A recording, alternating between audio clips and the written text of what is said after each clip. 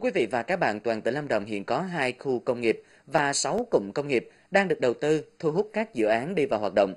Thời gian qua, để tạo điều kiện cho các doanh nghiệp đẩy mạnh hoạt động sản xuất, công tác đầu tư xây dựng hạ tầng trong các khu cụm công nghiệp được tỉnh Lâm Đồng quan tâm. Đến nay, tỉnh đã bố trí nguồn vốn gần 200 tỷ đồng để xây dựng hạ tầng cho hai khu công nghiệp Lộc Sơn, Bảo Lộc, Phú Hội, Đức Trọng và sáu cụm công nghiệp Gia Hiệp, Ca Đô, Lộc Phát, Phát Chi, Đinh Văn, Lộc Thắng. Thời gian tới, tỉnh Lâm Đồng tiếp tục phát triển các khu cụm công nghiệp trọng điểm một cách hiệu quả, đầu tư đồng bộ hệ thống điện, nước, viễn thông, xử lý chất thải, xúc tiến các nhà đầu tư có năng lực vào các khu cụm công nghiệp trọng điểm. Phấn đấu đến năm 2025, hai khu công nghiệp Lộc Sơn, Bảo Lộc và Phú Hội Đức Trọng đạt tỷ lệ lấp đầy 100% diện tích.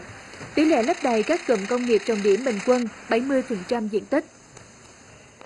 Đây là nguồn cây giống ban đầu phục vụ cho các vườn ươm giống đưa ra sản xuất, đồng thời một số cơ sở